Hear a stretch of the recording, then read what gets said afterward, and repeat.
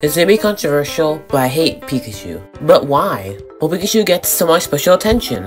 It gets so many forms. Look, there are so many. That's also been in every single Pokemon game. Lastly, do we even talk about the Pokemon anime? Now you know.